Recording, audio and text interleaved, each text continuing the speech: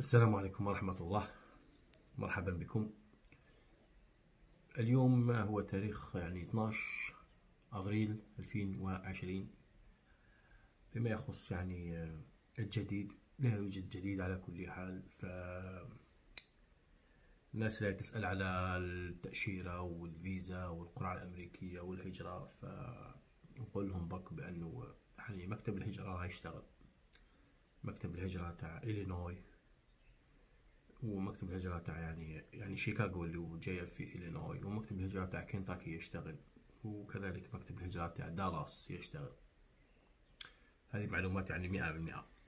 ولكن كما قلت وقلنا في الفيديوهات الأولى أنه الشغل راه بطيء سلو وهذا راجع إلى هذا الفيروس.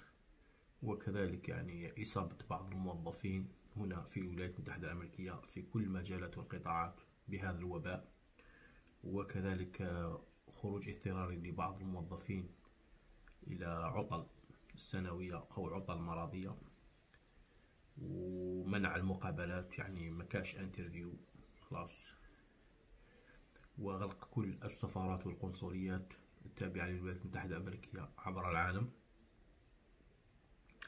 فلهذا يعني كل يعني تعطلت و يعني وبعض الموظفين كذلك يشتغلون من منازلهم يعني عن طريق الإنترنت.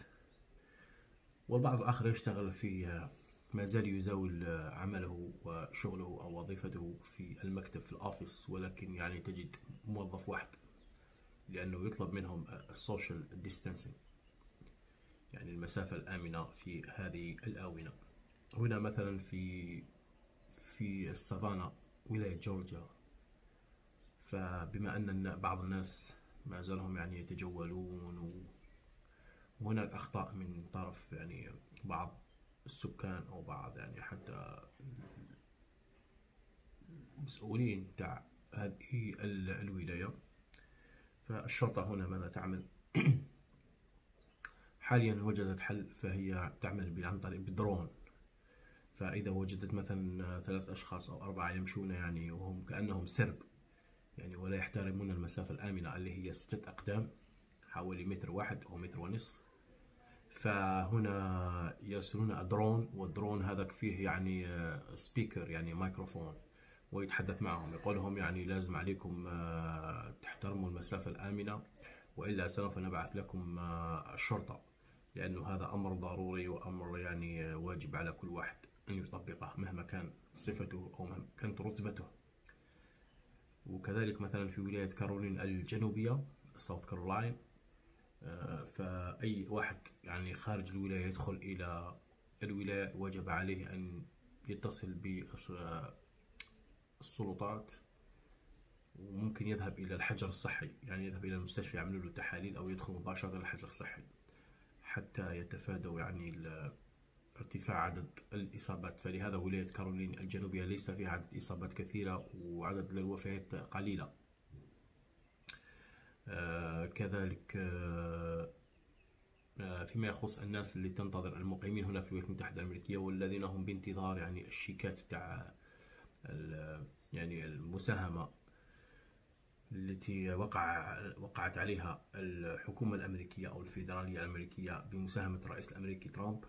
فيوم أمس يوم 11 أبريل 2020 بدأوا يرسلوا الحكومة الأمريكية بدأت ترسل الشيكات والأموال تدفع الأموال في البنوك. فالآن دور البنوك وهذه معلومة مئة في المئة يعني مئة في المئة. معلومة صحيحة. يوم أمس الحكومة بدأت ترسل الأموال الأموال والشيكات للبنوك. فالآن دور البنوك وبما أن البنوك لا يشتغلون فيها كثير من الموظفين فشغلهم هو كما نقول إحنا سلو يعني ثقيل كثير. فلهذا ممكن راح يأخذ وقت ممكن يعني. آه هذا ما يوجد يعني آه اليوم في هذا آه الموضوع. إن شاء الله تلاقوا في فيديو آخر. الله يجعل خير إن شاء الله. والسلام عليكم ورحمة الله.